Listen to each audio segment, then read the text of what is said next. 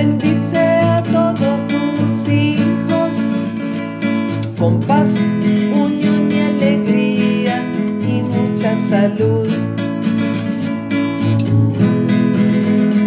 A la luz de la morada, ella vino a traer a la luz de la